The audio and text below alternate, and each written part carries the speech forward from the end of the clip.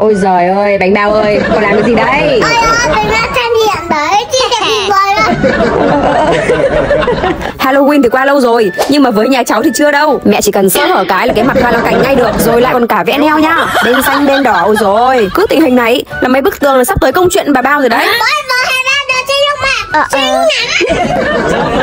Dựa Dựa kiểu gì ấy? À nhá, nhà mình hôm nay có thêm thành viên mới đấy. Đây là bác ruột mình. Bác sẽ lên đây sống cùng nhà mình luôn. Sợi sợi bà bao lại bắt đầu lân la ngoại giao đấy. Bà ba bà mơ bà quê ở đâu à? Bà khỏe Thái Bình chứ con khỏe đâu? Con quê ở Hà Nội à? Là ở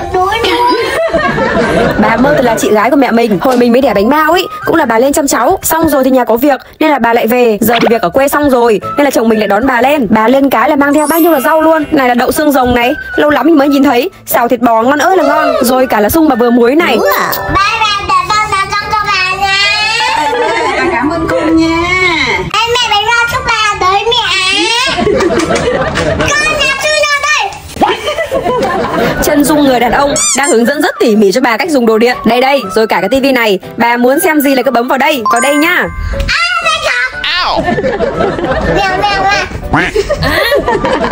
Đấy, lúc nào cũng nhí nha nhí nhố cơ. Mà bà mơ là hình như ưng cái con máy lau hút bụi H12 Pro này rồi. Bà là bà cứ trầm trồ nãy giờ đấy. Rồi ôi, cái con lăn phun viền này là dễ lau lắm. Đỉnh chưa, đỉnh chưa. Vừa hút vừa lau sạch bong luôn